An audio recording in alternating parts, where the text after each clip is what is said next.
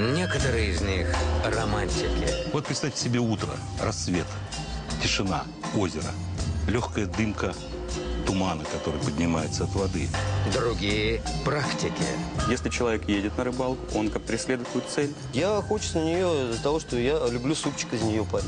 У одних проблемы с четвероногими друзьями. Бывает, что собаки уходят, это не от воспитания, это от азарта.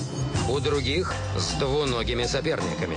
Партизан такой приполз, обрезал, потом этого партизана поймали и долго били.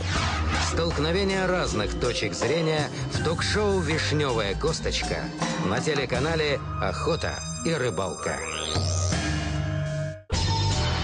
Смотрите на канале «Охота и рыбалка». В глубинах морей и океанов скрываются самые разнообразные создания.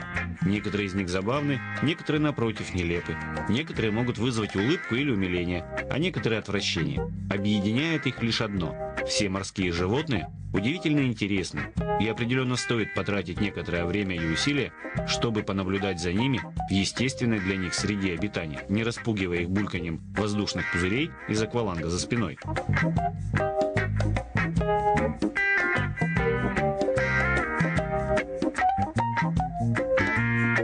Еще один благодатный для наблюдения вид рыб – крылатки.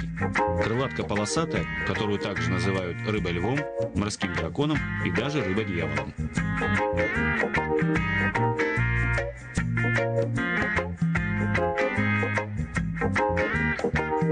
Нырок в моноласте – это упоение, это полет. После того, как самые известные ныряльщицы Франции появились на страницах модных журналов, плавание в ластах обрело такую популярность, что вытеснило из сердец французских болельщиков даже вековую любовь к футболу. Телеканал «Охота и рыбалка».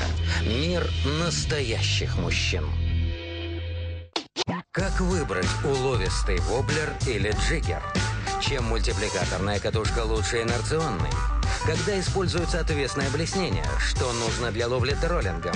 Каким требованиям отвечает хорошее удилище? Очень посылистая, очень удобная. Заброс у него пушечный. Рекорд этой палочки в прошлом году на Камчаточке 22 килограмма чевыча. Готовимся к серьезной встрече с рыбой. Вместе с программой «Амуниция и снасти» на телеканале «Охота и рыбалка».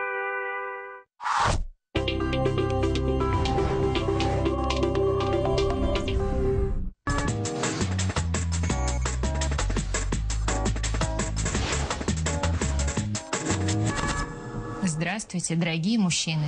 Наша программа, как всегда, только для вас. Препарат Танкат Али Плюс, основанный на легендарном малазийском корне Танкат, активизирует работу половых желез, тем самым повышая выработку ими гормона мужской половой силы тестостерона в 4,5 раза.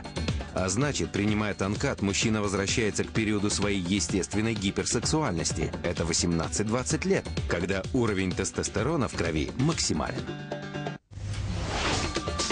Информацию о препарате Танкат Али Плюс и его приобретении вы можете получить по телефону бесплатной горячей линии «Скорая помощь для мужчин». Телефон для всех регионов России 8 800 200 ровно 0202.